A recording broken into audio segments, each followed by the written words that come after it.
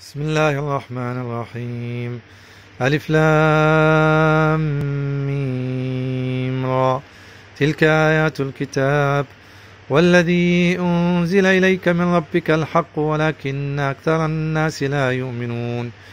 الله الذي رفع السماوات بغير عمد ترونها ثم استوى على العرش وسخر الشمس والقمر. كل يجري لأجل مسمى. يدبر الأمر يفصل الآيات لعلكم بلقاء ربكم توقنون.